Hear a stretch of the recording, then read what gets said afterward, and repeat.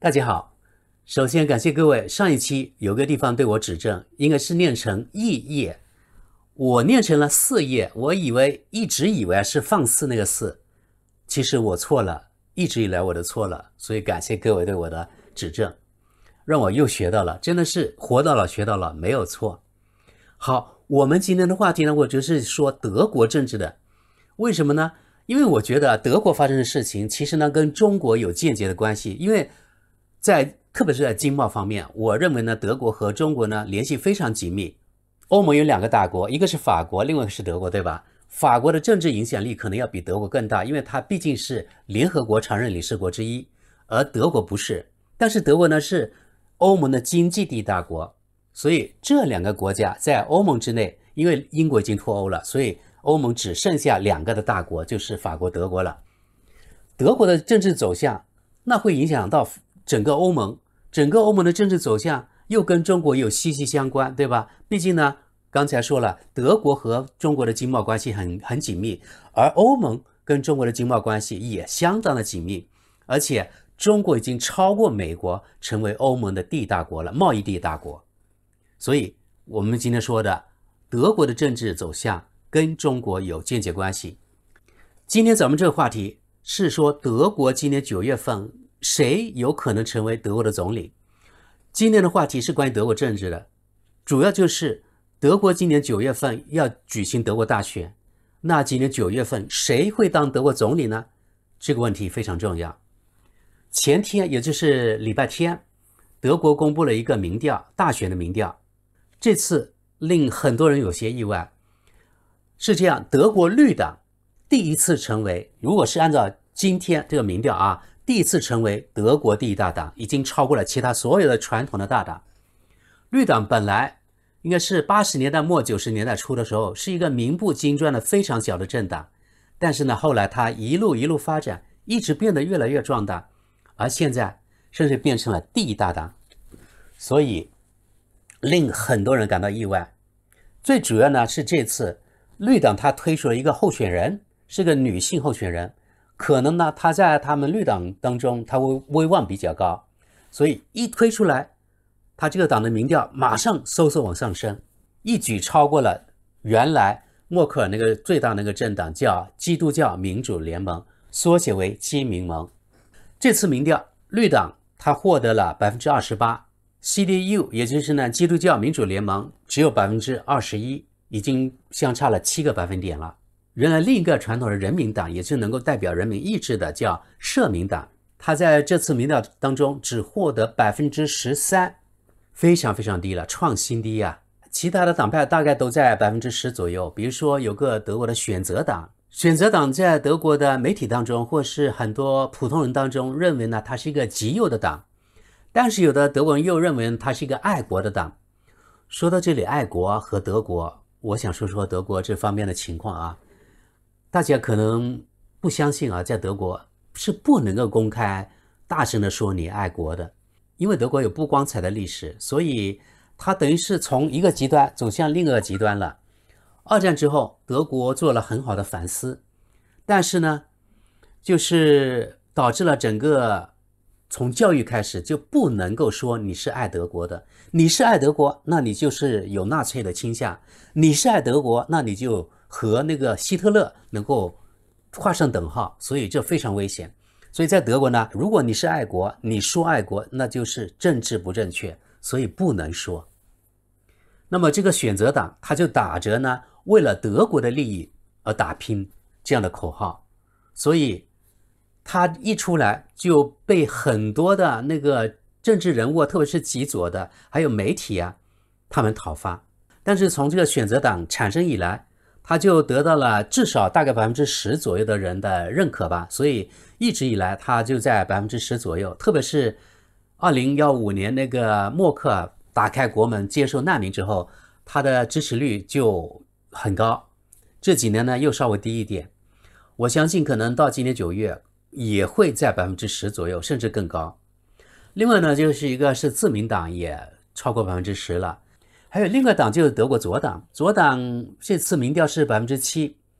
这几年左党不温不火，一直是这样。原来还好一些。听说这个左党里面有很多呢是原来东德共产党的一些成员，后来德国统一之后。这个共产党不知是不是非法化啦，还是就这样解散了？反正德国我没有找到德国共产党的信息了。德国共产党在东德呢是一九六八年又成立了，然后呢，德国统一之后可能就这样消灭了吧？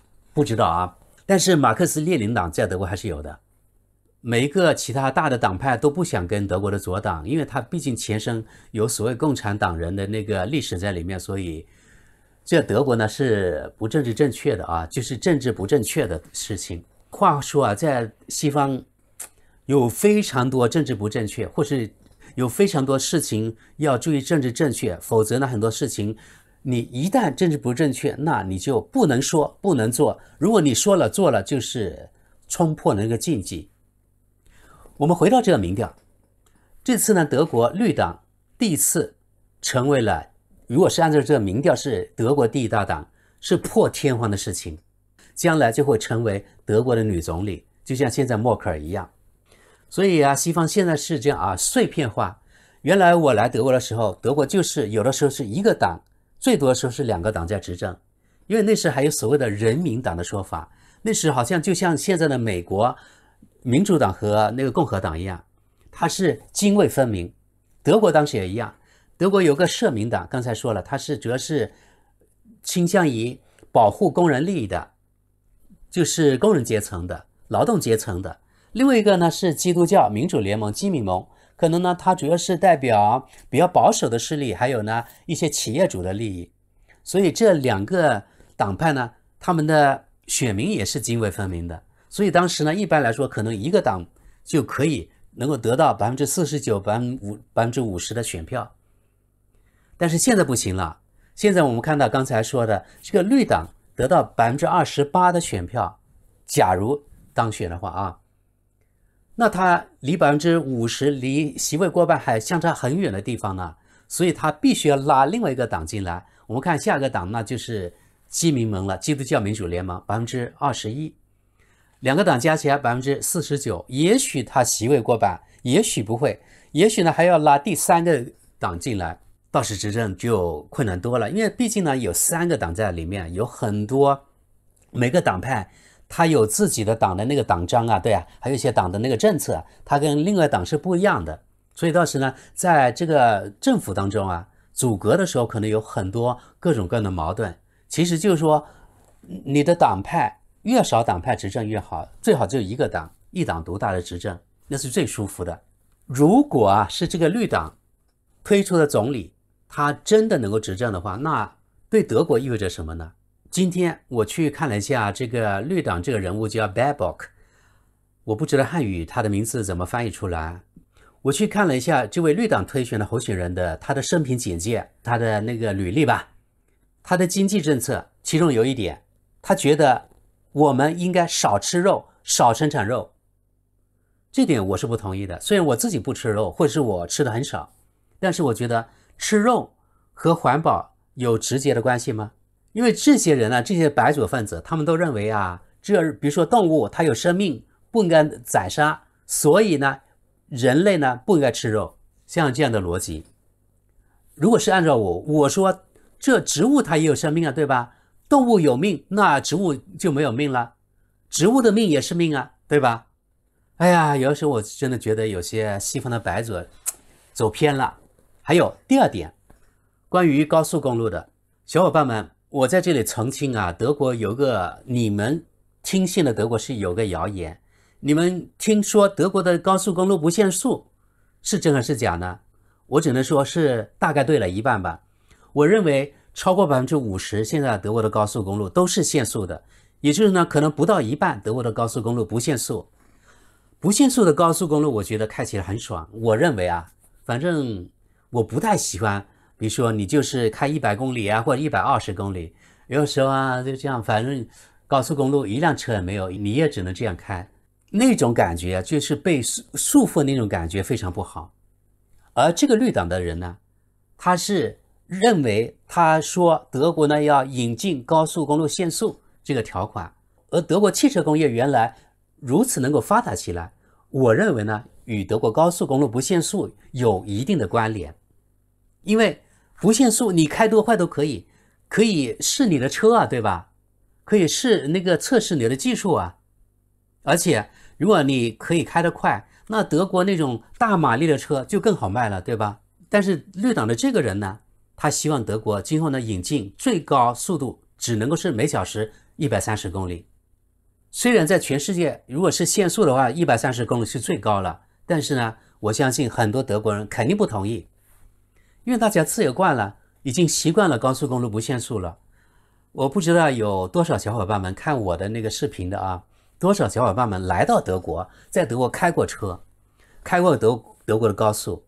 如果你真的开过，你有那个胆量的话，你肯定会特别特别喜欢德国的高速公路不限速。我就是一个赞成不限速的人，因为按照统计数字来说，德国的那个高速公路其实它发生事故的概率非常小。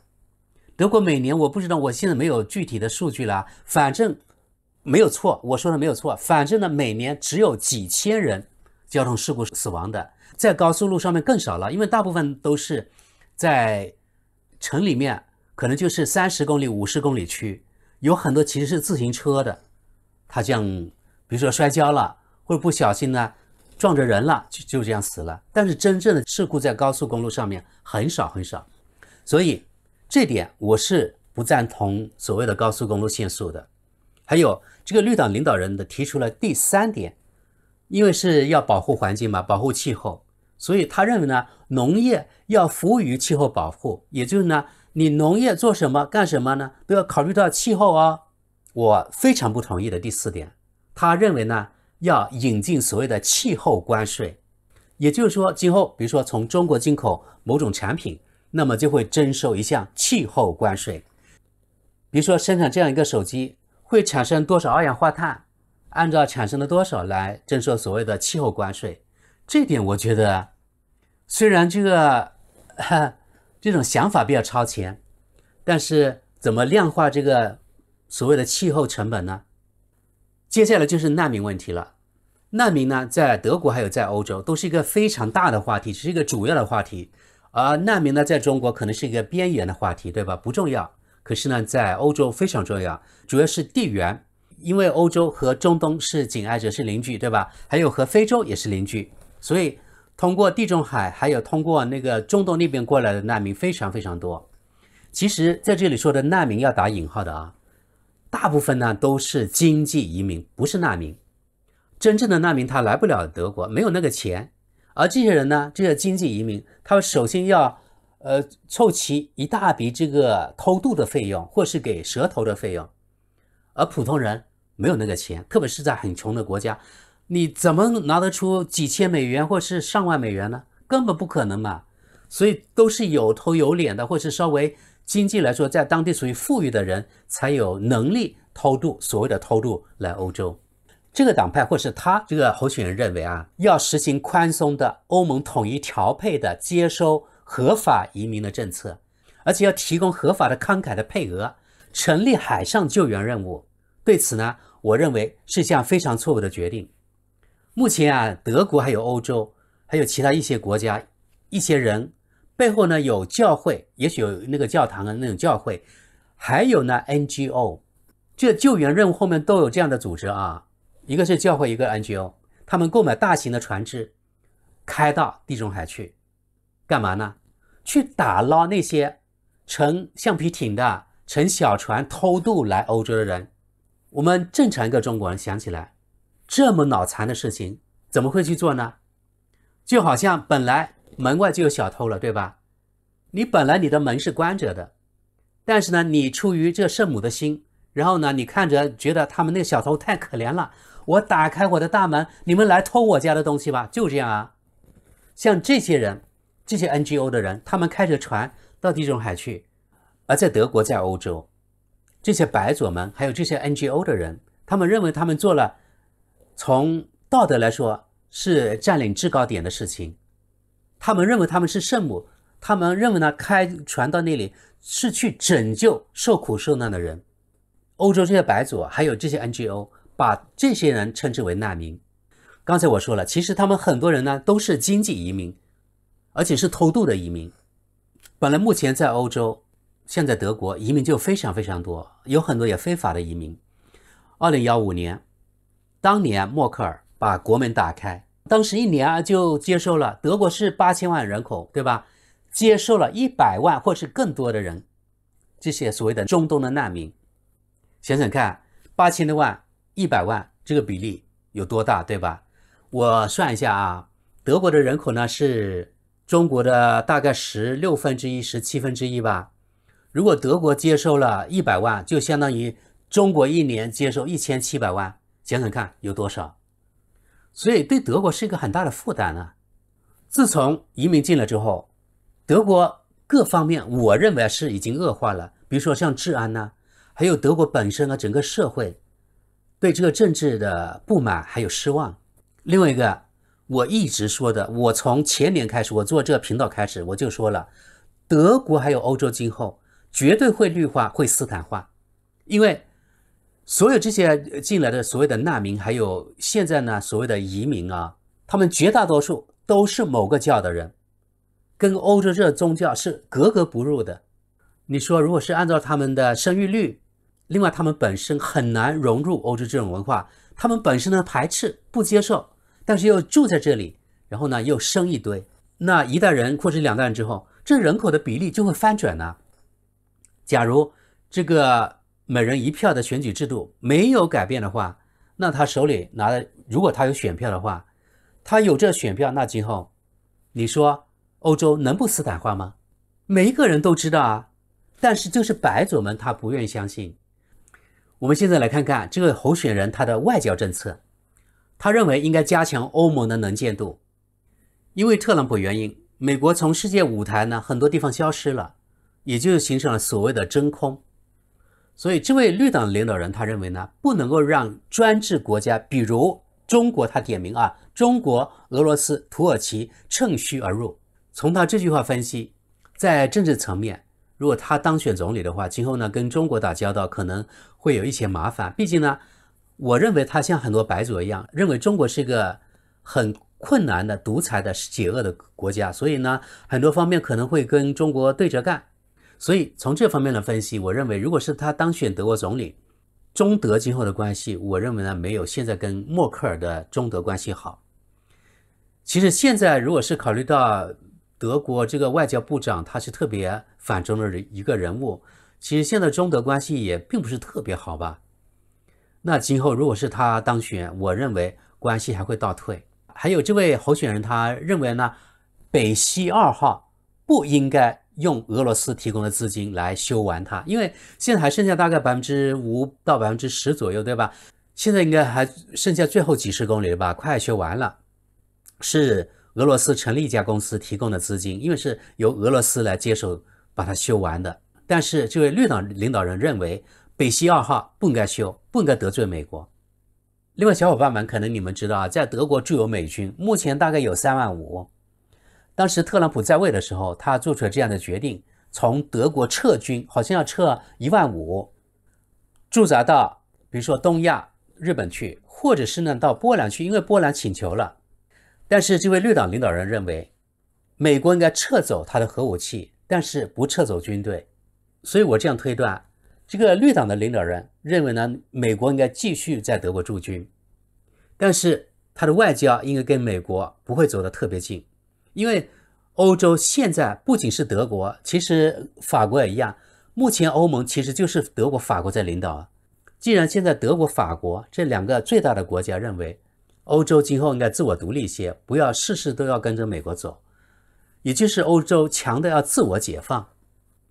我认为，如果他当选的话，德国的政治和欧盟的政治会越来越独立，不事事都跟着美国走。从目前的态势来看啊，欧盟还有德国不会一味的跟着美国走来反中遏制中国，应该是一码归一码。比如说今天这个话题、这个主题牵涉到政治的，那要跟中国的合作；但是牵涉到人权的话题呢，可能又会跟美国合作。但是呢，绝对不会。